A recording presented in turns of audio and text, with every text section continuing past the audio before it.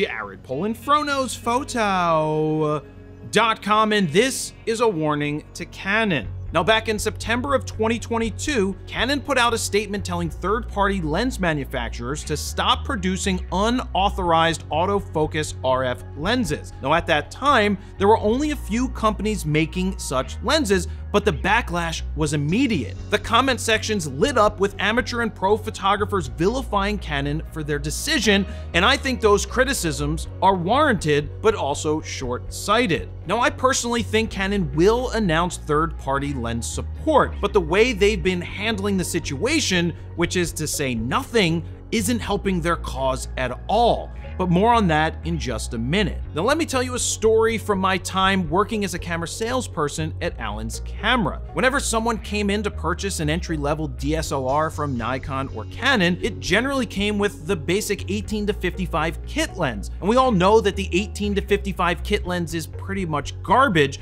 but when someone new came to buy a camera, they were focused on the body and not the lenses. So I did my best to quickly educate them on the importance of glass. Remember, glass, glass, glass, glass, glass. But it wasn't easy to explain to someone that the lenses can actually be more expensive than the camera itself. So what I did is I showed them the kit lens on the camera, then I would go grab a third-party Sigma 17 to 50 2.8 and let them put that on the camera and look through the viewfinder. They instantly said, wow, it's so much brighter than the other one. Why is that? I would keep it basic. This one lets in more light, it's slightly more expensive, but it will make your life so much easier and help you get better pictures quickly. Sure, the 17 to 50 2.8 was around $379, and the kit lens either came for free or was only 99 bucks, but the Canon and Nikon 17 to 55 2.8s were all over a thousand bucks,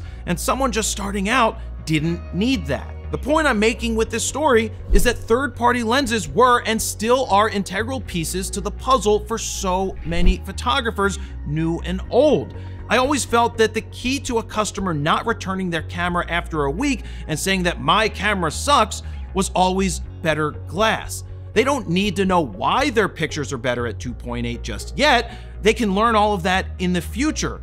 All they need to know is they are getting better pictures than with the crappy kit lens. And that brings us back to today and comments like this. I love Canon, been using them for years, but when they announced they weren't going to support third-party lenses, I knew it was time to say bye. And so today, I bought the A7 IV instead of going with the R6 Mark II, even though the R6 had everything I wanted.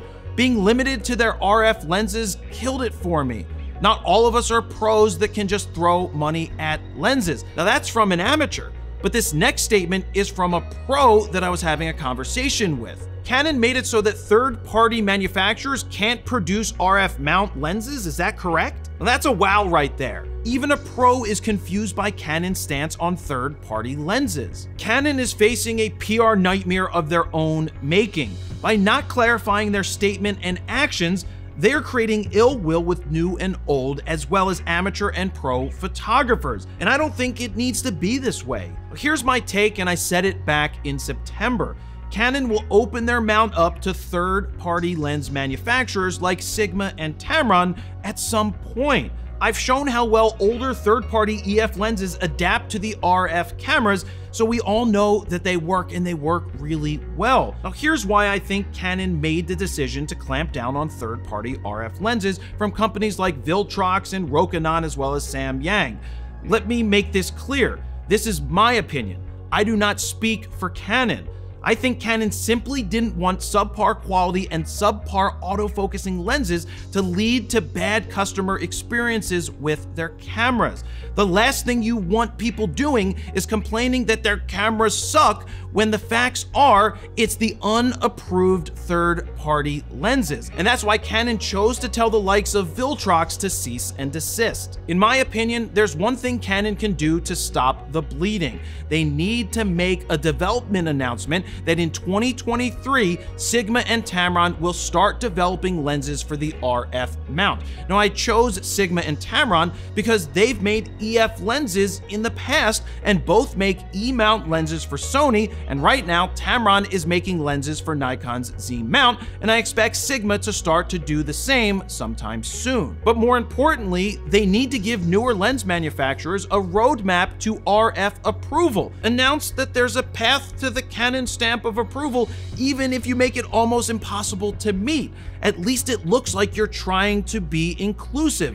Hell, some of these new companies might surprise you and be able to meet those standards. At least give them a shot. It only makes sense that Canon prefers photographers use genuine Canon lenses on their RF bodies. They make more money when they buy Canon lenses. And as of late, Canon has done a better job of bringing less expensive RF options to the market, with many more sure to come in the future. But by cutting off your nose to spite your face, you're only hurting yourself. When a third party option saves you hundreds of dollars, some photographers are more than willing to make small sacrifices to save some money. And the fact is, many of these lenses will get the job done and get it done well. Better glass, more times than not, leads to the potential for better photos, even for new photographers. And a photographer who's getting better pictures is a photographer who's less likely to give up and more likely to upgrade their camera and lenses in the future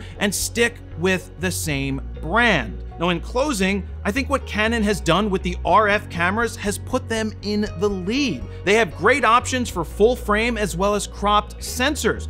Their autofocus is top notch from the cheapest entry level RF cameras to the most expensive ones, and they shoot fast with both the mechanical and electronic shutters, and the quality is great. When someone asks me which brand they should go with from Nikon, Canon, or Sony, at this point, it's simple. I say Canon for so many reasons, but not everyone can drop bank on the current better RF glass, and if someone's on a tighter budget, maybe Sony with their third-party options from Sigma and Tamron might be a better starting point. Look, it's time, Canon. It's time to announce third-party lens support is on the way.